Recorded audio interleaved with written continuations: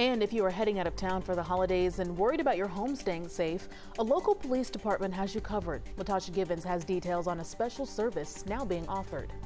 So particularly around the holiday season, we have a lot of people who are traveling or going out of town who would naturally like peace of mind for their homes. Officer Tim Lupo with the Roswell Police Department says that peace of mind could come from using the department's vacation watch or home security check services while you're out of town.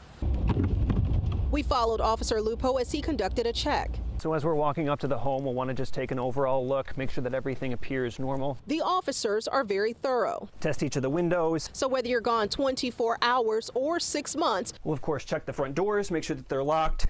They'll continue to check on your home until you tell them to stop.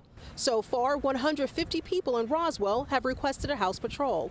Sandy Springs Police offers the same service through its website. Bigger departments like Gwinnett County, Atlanta Police, and Cobb County say they don't necessarily offer a safety program like this, but you can request patrols for a specific time throughout the year. That peace of mind is huge, especially when you're away. So to be able to provide that, uh, that comfort to our citizens is very important to us.